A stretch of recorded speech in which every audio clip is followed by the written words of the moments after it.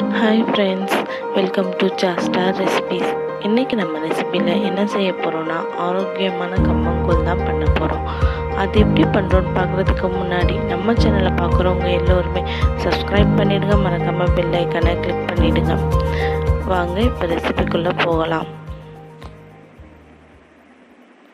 இது செய்ய நம்மளுக்கு என்னென்ன பொருட்கள் தேவைன்னா சோறு வடித்த தண்ணியை ஒரு பவுலில் எடுத்து வச்சுருக்கேன். ஒரு கிளாஸ் கம்பு ஒரு பவுலில் ரைஸு இப்போது அந்த கம்மை மிக்ஸி ஜாருக்கு ட்ரான்ஸ்ஃபர் பண்ணி பொடியாக அரைச்சிக்கலாம். அது கூட நம்ம இப்போ சோறு வடித்த தண்ணியை கலந்துக்கலாம். நம்மக்கிட்ட இந்த தண்ணி இல்லைன்னா பரவாயில்லைங்க. ஆர்டினரி தண்ணியிலே நீங்கள் செய்யலாம். இப்போ நல்லா கரைச்சி விட்டுக்கலாம். இந்த அளவுக்கு நல்லா கரைச்சி விட்டுக்கோங்க. இதை இப்போ வந்து நல்லா கொதிக்க விட்டுக்கலாம். இதை ஸ்டவ்வில் வச்சோடனே கைவிடாமல் கிளறிக்கிட்டே இருக்கணும். இது கிளறாமல் விட்டோன்னா கட்டி பட்டுடும். பாருங்க இந்த அளவுக்கு நல்லா கட்டியாக வரணுங்க. கட்டியே படல பாருங்க நம்மளுக்கு. இதை கிளறிக்கிட்டே இருக்கணுங்க. இப்போ தண்ணியெல்லாம் சுத்தரவாக வத்திடுச்சு. இதை வெந்துருச்சான்னு பார்க்கலாம். இது எப்படி வெந்துருச்சான்னு பார்க்குறதுக்கு நம்ம கையில் தண்ணியை தொட்டுக்கிட்டு அந்த மாவில் டிப் பண்ணி எடுத்தோன்னா நம்ம கையில் எந்த மாவும் ஒட்டாது. அதுதான் சரியான பக்குவம். இதை வந்து இப்போ நல்லா ஆற விட்டு எடுத்துக்கலாம். இது கூட நான் ஒரு கப் ரைஸாக அரைச்சி சேர்த்துக்கிறேன். ஏற்கனவே நம்ம எடுத்து வச்சுருந்த தண்ணியை வடைச்ச தண்ணியை மீதி தண்ணியை கலந்துக்கலாம். இது நல்லா கரைச்சி விட்டுக்கோங்க.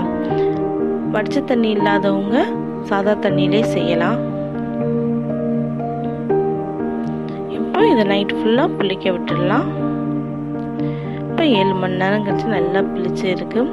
இது கூட சின்ன வெங்காயம் தயிர் ஆட் பண்ணிக்கலாம். நான் சோறு வடித்த தண்ணியில் சேர்த்துருக்கனால எனக்கு உப்பு இருக்கும். அதனால் நான் உப்பு சேர்க்கலை. நீங்கள் ஆர்டினரி தண்ணியில் சேர்த்துருந்தீங்கன்னா உப்பு சேர்த்துக்கோங்க. எல்லாத்துலேயுமே நம்ம வெங்காயம் போட்டோன்னா ரொம்ப ஸ்மெல் அடிக்க ஆரம்பிச்சிடும் வச்சு சாப்பிட முடியாது. அதனால் கொஞ்சம் பவுலில் ட்ரான்ஸ்ஃபர் பண்ணிக்கிட்டு அது கூட சின்ன வெங்காயம் கொஞ்சோண்டு தயிர் கலந்துக்கிறேன். கலந்து தேவையான அளவுக்கு தண்ணி ஊற்றி நம்ம கலந்துக்கலாம்.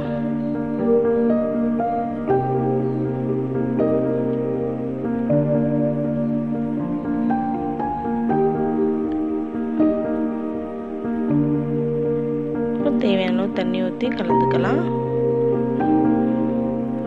பாருங்கள் நம்ம நல்லா கலந்து விட்டாச்சு. இப்போ குடிக்கிறது குடிக்கிற பக்குவத்துக்கு கரெக்டாக இருக்குது இது கூட வத்தல் வறுத்து சாப்பிட்டுக்கலாம்.